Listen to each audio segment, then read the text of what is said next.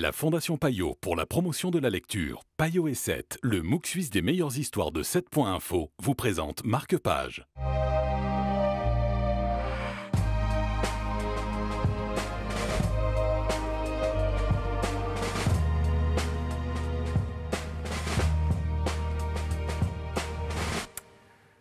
Bonjour à tous et bienvenue dans Marque Page. Aujourd'hui, nous allons parler des jours enfuis. C'est un livre signé Jay McInerney.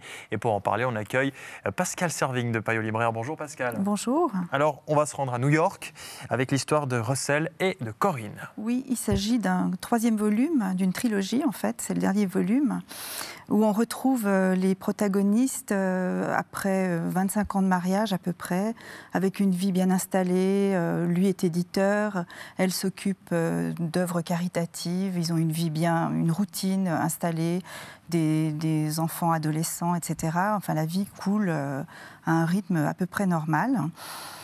Mais bientôt, il va y avoir euh, quelques petites, des petits rouages qui vont venir un petit peu brouiller tout ça.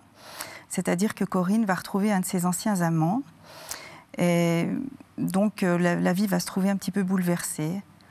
Et comme le livre se situe euh, à peu près dans les années 2007-2008, hein, c'est-à-dire au moment de la crise euh, des subprimes, euh, la, vie, de New York se trouve elle-même bouleversée, c'est-à-dire que l'auteur fait un, parallèle en fait entre ce, couple qui, se cherche et qui finit par basculer un petit peu, et la ville de New York qui est, confrontée à la crise et où tout est remis un peu en question. C'est le troisième volet de la saga de, ce New-Yorkais, hein, Jay McInerney, et c'est votre coup de cœur. Pascal Serving, merci d'avoir été avec nous. On vous recommande donc ce jour, ce livre, Les jours enfuis de Jay McInerney. Merci de nous avoir suivis. On va se retrouver très vite pour un nouveau numéro dans Marque-Page, New-Yorkais, Suisse ou d'ailleurs. Et en attendant, vous retrouvez tous les autres numéros sur le site de la télé, bien entendu, latélé.ch. À très bientôt.